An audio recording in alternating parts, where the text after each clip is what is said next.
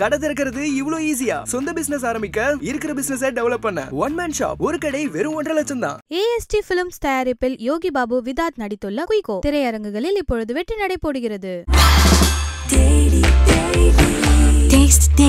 Taste the Daily.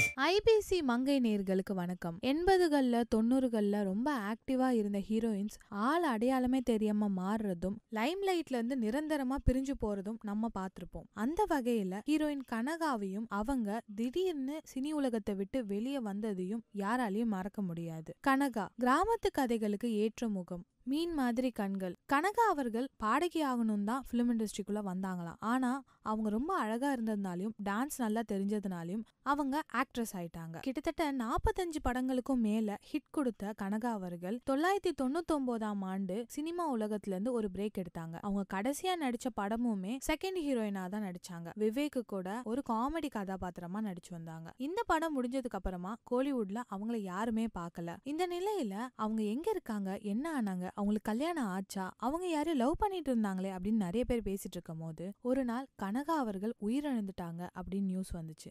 இதை கேட்டுட்டு அவங்க ரசிகர்கள் ரொம்பவே வருத்தப்பட்டாங்க. கனகா இப்ப எங்க இருக்காங்க? எப்படி இருக்காங்கன்னு எல்லாம் தெரிஞ்சுக்கணும்னு ஆசைப்பட்டாங்க. பத்திரிகையாளர்கள் அவங்க வீட்டை தேடி அவங்க வீட்டு முன்னாடி போய் நிற்கும் போது கனகா உயிரோட வெளியே வந்து எனக்கு எதுவுமே ஆகல. வீட்ல ஒரு சின்ன ஃபயர் ஆக்சிடென்ட் எனக்கு எதுவும் ஆகல. நான் நல்லா தான் இருக்கேன் அப்படின்னு சொல்லியிருந்தாங்க. அப்படி சொல்லும் போது தான் பத்திரிகையாளர்கள் மூலியமா உலகத்துக்கே கனகா கரண்டா எப்படி இருக்காங்க அப்படின்னு தெரிஞ்சிச்சு. அப்போ பாக்குறதுக்கே கொஞ்சம் அடையாளம் தெரியாம கண்ணாடியெல்லாம் போட்டுக்கிட்டு ரொம்ப மெலிஞ்சு போய் இருந்தாங்க. சரி எல்லாருக்கும் வயசாகுது அவங்க அப்படிதான் ஆயிடுவாங்க அப்படின்னு நினைச்சு விட்டுட்டோம். அவங்க உயிரோட இருக்காங்கன்றது கேள்விப்பட்டுட்டு எல்லாரும் சந்தோஷமும் பட்டாங்க. கனகா அவர்கள் கோலிவுட்டை விட்டு விலகினதுக்கு ரெண்டு காரணம் தான் இருக்கு. ஒன்னு அவங்களுக்கு ஒரு காதல் தோல்வி இருக்கு. அவங்க காதலன் யாருன்றதை யாருக்கும் அவங்க சொன்னதில்லை. ரெண்டாவது அவங்க காசு விஷயத்துல நிறைய பேர்கிட்ட ஏமாந்துருக்காங்க. அதாவது மேனேஜர்ஸ் பிஏ இந்த மாதிரி நிறைய பேர் அவங்கள ஏமாத்திருக்காங்க. அதனால அவங்களுக்கு நாளடைவா யாரையுமே நம்ப முடியல. சோ அவங்க தனியாவே இருந்துடலான்னு ஒரு முடிவு எடுத்துட்டாங்க. இந்த நிலையில கடந்த வாரம் குட்டி பத்மினி அவர்கள் கனகாவை எப்படியாவது பாத்துடணும்னு அவங்க வீடு தேடி போய் கொஞ்ச நேரம் நின்னு பார்த்துருக்காங்க பின்னாடியே ஆட்டோல வந்து கனகா அவர்கள் இறங்கியிருக்காங்க.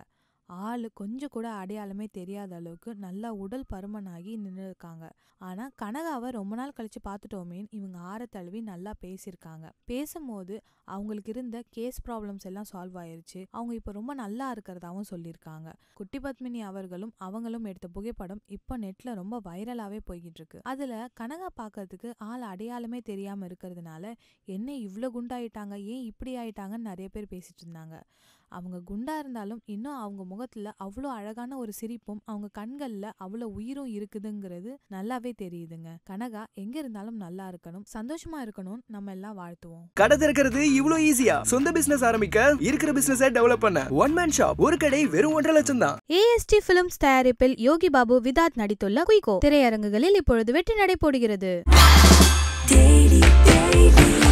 Taste Daily. Taste the Daily. எனக்கு எது சேலஞ்சிங்காக இருந்தது. அப்படின்ற மாதிரியான கேஸ் ஏதாவது இருக்கா? செக்ஷுவல் அபியூஸ் தான். நிறைய வந்து ரிலேட்டிவ்ஸ் அப்படின்னு சொல்கிறத விட அப்பா. அப்பாவே வந்து sexual abuse first time bleeding அவங்களுக்கு அதை பற்றி ஒன்றுமே தெரியல. Like she doesn't have more friends அதனால் அவங்க ஃப்ரெண்ட்ஸ் கிட்டயும் பெருசாக அதை டிஸ்கஸ் பண்ணல. அந்த ப்ளீடிங்கை பார்த்ததுலேருந்து அந்த குழந்தைக்கு வந்து ஒரு ஸ்ட்ரெஸ் அவங்க அம்மா வந்து இதை பற்றி பேசினா கூட like she was not and இதெல்லாம் இதெல்லாம் ஒரு இதுவா? நான் எனக்கு ஏன் வருது இது? எனக்கு இதை வந்து வரவே கூடாது. பட் அது ஃபஸ்ட் டைம் பார்த்ததுலேருந்து நைட்டெல்லாம் அவங்க வந்து அந்த இன்சிடெண்ட் வந்து அவங்களுக்கு வருது. இந்த ப்ளீடிங் ஞாபகம் வருது. அந்த கிராம்ஸ் பெயின் அவங்களுக்கு வந்துருமோ இப்போ வந்துருமோ?